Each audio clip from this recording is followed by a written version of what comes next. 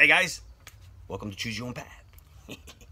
so, you just seen part one of the owl stick. Uh, we're probably gonna have to do this in stages because um, it's gonna take a lot of video and shit like that. So, oops, sorry. Um, so today, as in a little bit past this morning, we're gonna keep on.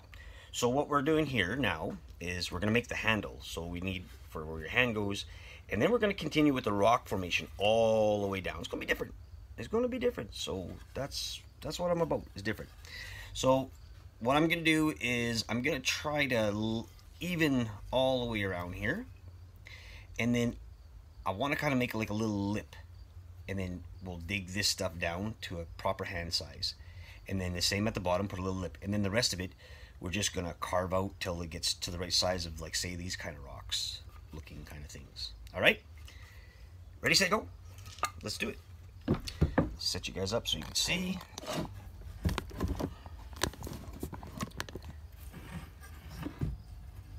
All right.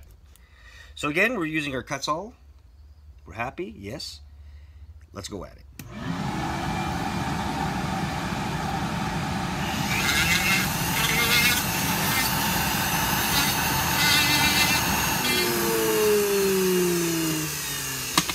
We're going to do is we're going to change up our bit. We're going to go to the bigger flame.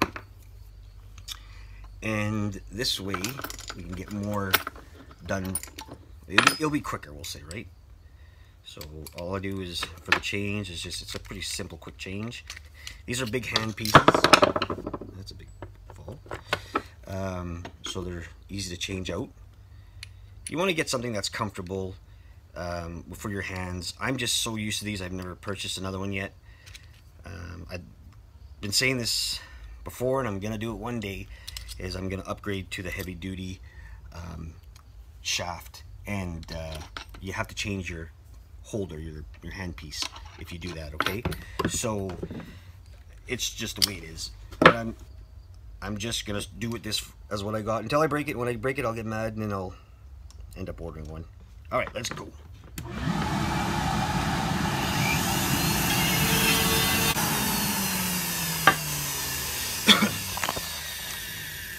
All right, guys. So this is the kind of look I'm, I'm going for. So that you'll see the top has a sort of like an upper, so your hand can stay there and the bottom will fit perfectly. I'm doing this for my hand, which is somewhat, I'm not huge, but I got a big hand too. So we're gonna whittle or grind it down to the good size. So what you want to do is when you're making a, um, a walking stick is you got to be able to hold it properly. So like say about this thickness would be good all the way down. So we want to make that. And then like I said, the rocks, we'll still work on that with it. So what I'm going to do is I'm going to switch it up. Um, we're going to go back to the angle grinder because, excuse me, I can get more material off with that. You've seen this skipping a couple of times. Again, I'm having issues. I need one of those little bolts that go from the long end of this. It goes into the machine, and it's like a like a little hex nut or something. I don't even know what they call it. It disappeared. Don't ask me where the hell it went. Maybe when I changed it, it fell out and I didn't notice it. You know. Either way, we'll get that set up, and uh, I'll be right back. All right, guys. So I said we were going to use the angle grinder uh, the Arbortech, I meant the die grinders. So the um, burrs fit per perfectly in these guys. Uh, this, I can't remember what it was called, but it is the uh, Kutzall. Uh, it's a big ball burr, I guess. It takes off a lot. It's extreme, boy, let me tell you. These fit perfectly in your die grinders. So what we're going to do is we set ourselves up into the jaw horse and we're going to be taking out as much as we can and we'll kind of strip off the rest here if we could do that. And uh, we'll see how it goes. So put on the eyeglasses because this is going to be a lot messier.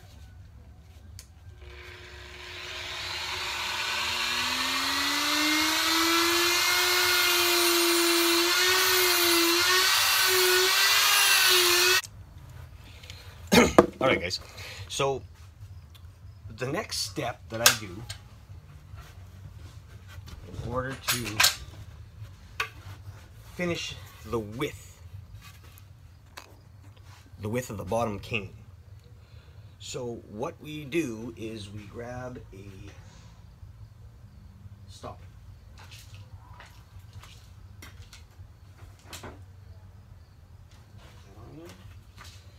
So we're just gonna use this guy's stopper because I have to get some more from a buddy of mine. If this is not, oh no, it's great. This is the one I made a couple months back. Eh? I don't know if you guys seen that one. Dragon. Dragon. Yeah, love it. Anyway, um, so what I do with this now, so I got, these are all standard. Uh, I think they're an inch and a half sort of thing, whatever. So what I do is I end up finding the center. Then I take my trusty old black marker. Whoop. Come on. So I'll figure out my center, which is pretty simple. Uh, you know, I just use the wood as an example. And then I'll just trace this all the way around. Now, the thing with this is, as you can see, I traced it, but this is the outside of it. So when you're doing your capping, you have to go a little bit more on the inside, like you'll be like you'll be cutting past the line around um, in order for this to fit. Now once that fits in there, the rest of the stick is just based on how you're going to shave it. Okay, so not very difficult, just time consuming. So we're going to put this guy back in here. Maybe this guy like that, so we don't have to screw up as much. Put them in the draw horse, like so, and uh, down. And yeah, so we're just gonna take off the amount that we need. So I measure it, also I measure it up to where it's gonna stop, which is about here. So there's about a good two inches that has to come down past your line behind here, okay guys? That's what we're looking for. So well, now, the best way to use with that tool would be to go to the Arbortech, which is this guy, and then using the round, uh, the flat um, disc to kind of get around. It'll cut a lot of wood. It's unfortunate I don't have a bigger shop vac in here that could suck up all the dust. Oh, messy, messy, messy shop's not good. But we'll get that all set up. All right, guys, so let's get this going.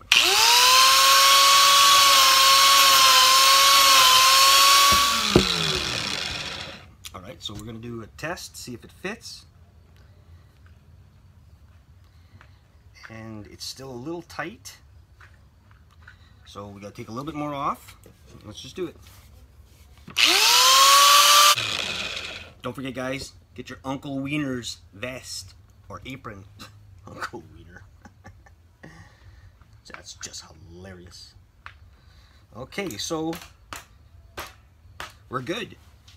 I would maybe cut this down a bit more. If you can see it, it's a little tight. I would cut it just a little bit more down. I'm to spin it though. So, as you can see, that's the size we want. Now what we want to do is trim the whole stick to about that thickness. Maybe a little thinner because you don't want it overly large, right? Um, ends up if you go, if, if, if, your stick is even too thick, it just becomes very heavy. Uh, you know, the less wood, the better, I guess. It's a lot of work, but it's worth the price. All right, guys, so now we're just gonna thin it out. So what I did, I did it off camera, was I cut into it like in lines. So this way, um, when now I'm going to go on the side of it, like this, normal way, it'll get rid of some of it, but it'll leave some of the lines in so that we could use that as our rock formation. Uh, it just works out really well that way. So let's go.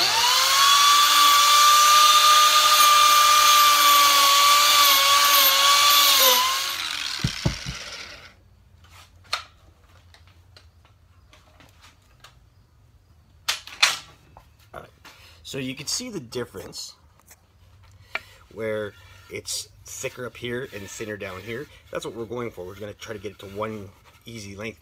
And then we'll just do a little bit of sanding. Uh, we'll do in the stone look, excuse me, and then uh, we'll give it maybe a little burn. We'll work on the feathering also. We're just gonna do everything. That's all we're doing. Everything. So we're gonna start it from here now. Because what we want to do is keep we want to keep the uh, the length of this side, the smaller side that I just the back end, so I can stand, you know, on either side and I can pull away, and I know exactly where I am. Then you just gotta flip it over a couple times. So let's let's go.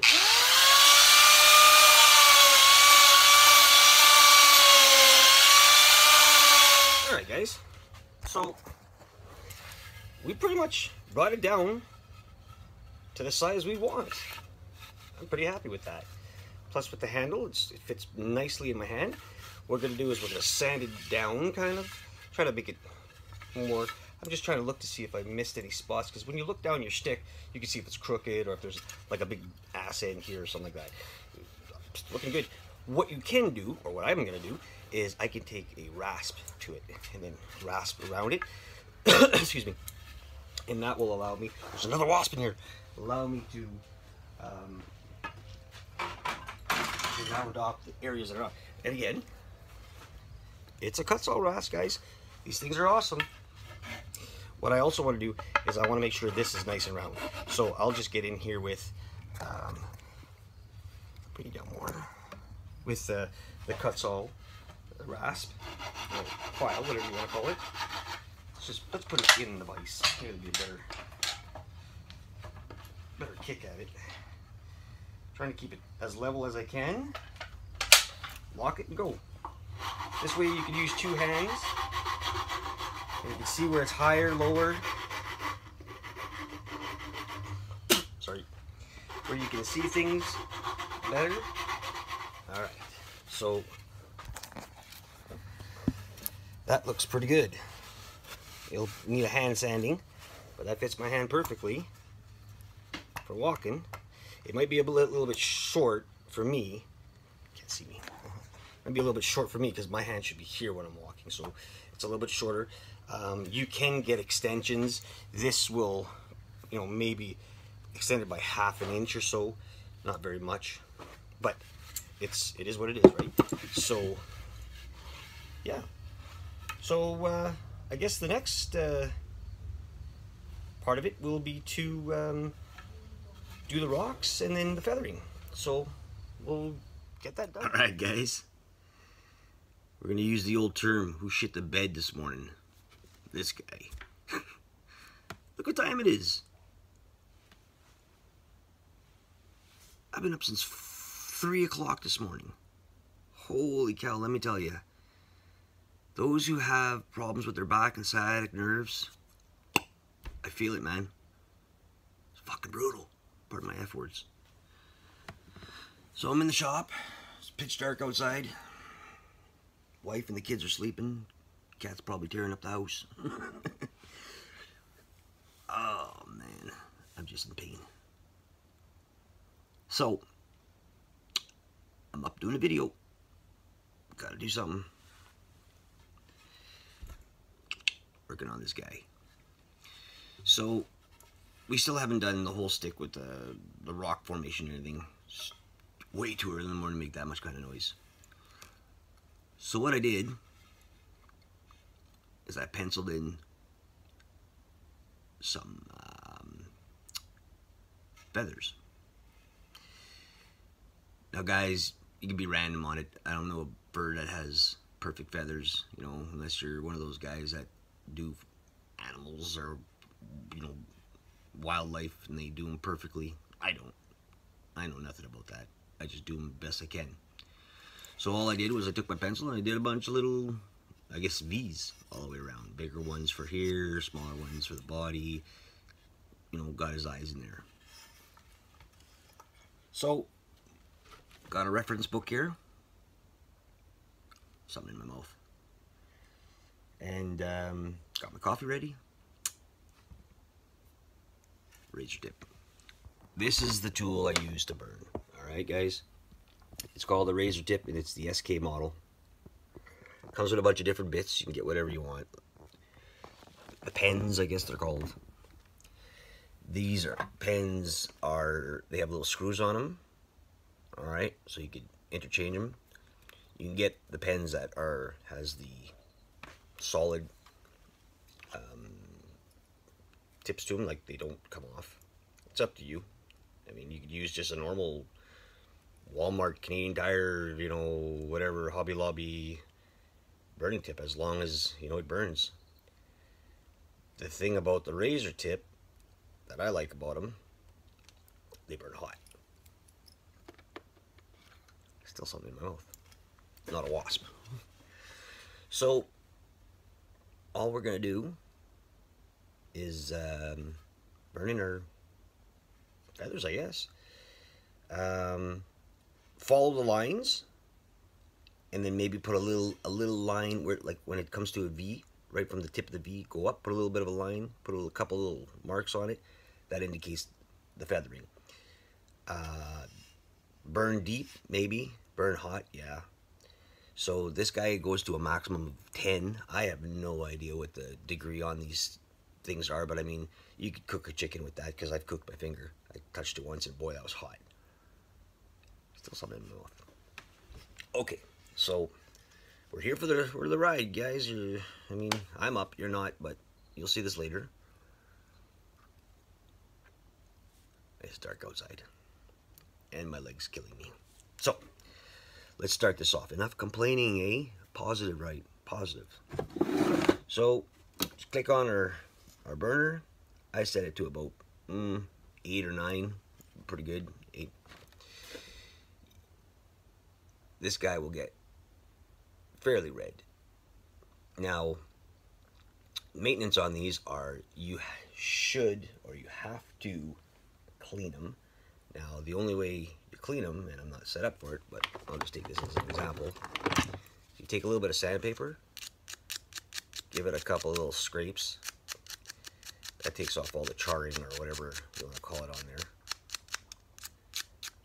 And it's good to go. So I just keep that handy. So we'll put ourselves down here and uh, we'll uh, we'll go at it, right? Why not? Better do. So let's set you guys down. You may not see this very well, but you'll see it after. So like I said, all I'm doing is I'm just going to follow my lines with a V. and then when I'm done that V I'll put a little line in the center. So something like where the hell did it go? Right there. Right my finger see my finger? Right there. That'll indicate a feather and then uh, yeah we'll just keep on going and when I say random I mean they don't have to be perfect. I mean, you got to look at it this way. It's a bird. It's sitting out in the wind. Um, you don't want to overlap it, but you want to kind of make them, um, I guess, a little bit, of, you know, like askew, I guess the word would be. Moved around. Feathers are not always perfectly together. You know what? It's your bird. Do what you want to do do what you think looks best, it will turn out perfect at the end because you did it, I did it, we all did it, right? So we're just going to go add a couple of these here. I mean, I'm not going to do the whole thing on camera because that would take long time. I mean, it'd be so much fun to watch me burn every feathering in.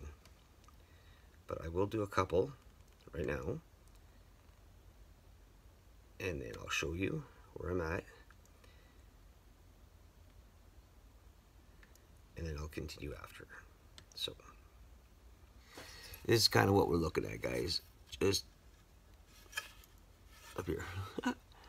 um, you know, putting little V's in and a line in the middle, that makes a feather. When I go to airbrush it, the uh, the indentation of the feather will be there. And uh, I have to just show you guys because it's easiest way. So I'll keep on doing this. You guys go back to bed. We'll see in a bit.